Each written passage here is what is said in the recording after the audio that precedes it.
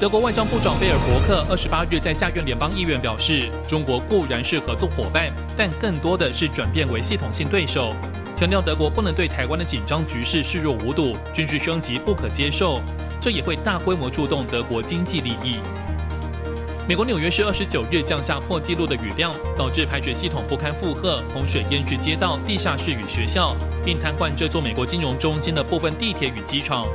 纽约州长宣布纽约市进入紧急状态。俄罗斯去年借由演习在乌克兰边境驻扎兵力，美国对此警告俄军有可能入侵后，普丁果然大举挥兵进攻。如今类似的情况在塞尔维亚重演。白宫透露，该国军队在科索沃边境展开前所未有的集结。